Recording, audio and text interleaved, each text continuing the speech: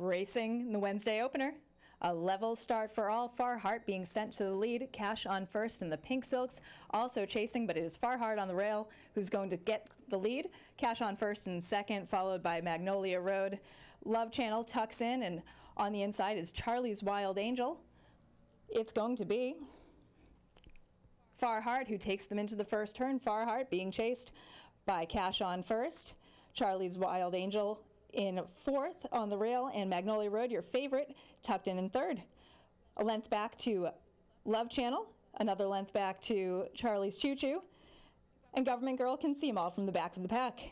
The margin is narrowing for Farhart, Farhart with the pink silks and Cash on first, bearing down on her.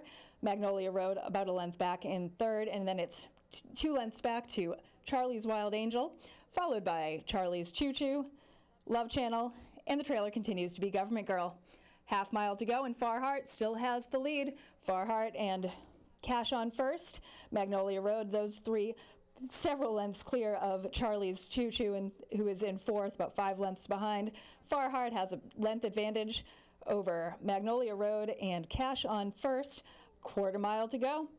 And Farhart's going to try to take them all the way. Farhart comes around the turn with the advantage, but Cash on first and the pink silks is coming up the rail. Farhart trying to hold on. Farhart putting some daylight between her and her rivals. Farhart lengths clear. Here comes Magnolia Road, your favorite, making up ground but not quite doing enough. It is Farhart striding clear in the stretch. Farhart going to prevail, break her maiden in style on a muddy racetrack under Gabriel Ramos. The battle for second between Magnolia Road and Cash on first. A photo for second and third. Back to Charlie's Choo Choo in fourth.